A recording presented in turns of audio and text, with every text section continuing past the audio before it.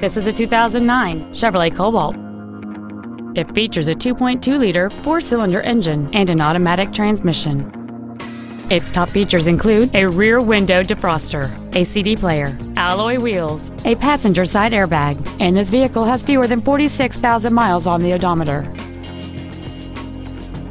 With an EPA estimated rating of 33 miles per gallon on the highway, this automobile pays off in the long run. Please call today to reserve this vehicle for a test drive.